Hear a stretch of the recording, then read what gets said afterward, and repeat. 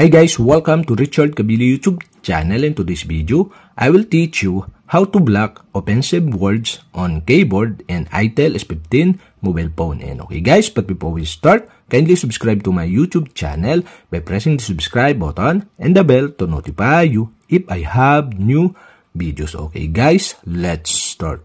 So okay guys, here in your ITEL S15 mobile phone, you'll have to do is go to settings In Settings, scroll down and go to System.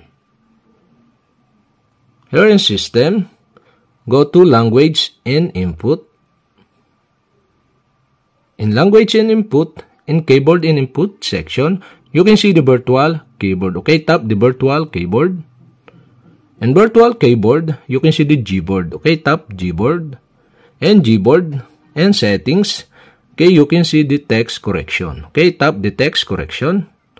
Here in text correction, you can see here the block offensive words. And on the right side of this, you can see this switch button.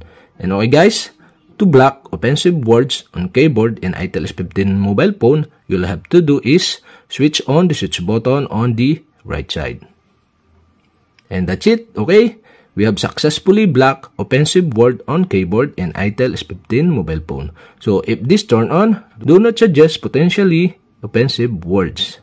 And that's it. Okay, we have successfully blocked offensive words on keyboard and ITEL S15 mobile phone. And okay guys, if you have a question, kindly comment below.